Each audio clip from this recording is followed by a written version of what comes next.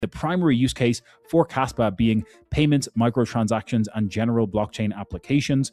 We have seen the price of Kaspa itself not perform very well on a technical level over the past, uh, you know, 12 to 24 months, especially versus Bitcoin. But ultimately, because its block DAG structure means that it can handle huge amounts of throughput very, very efficiently, it will be very useful for microtransactions, where Bitcoin's use case has developed to be more like a store or a form of digital gold. It's not actually the best for microtransactions, and maybe Kaspa can fill that gap. Again, everyone or a lot of people describe Kaspa as the silver to Bitcoin's gold, and perhaps it has that use case, especially if it can be uh, quicker and more cost effective than other layer one solutions like Solana or Ethereum to be that kind of microtransaction processing layer. Okay. Primary use case for BitTensor obviously being that decentralized AI model training and compute marketplace.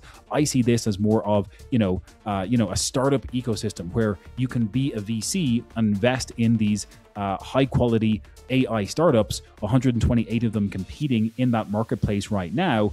And obviously, um, the TAO utility needed to stake your TAO in in exchange for those subnet alpha tokens when you're backing or taking a stake in those AI startups is the power of that primary use case.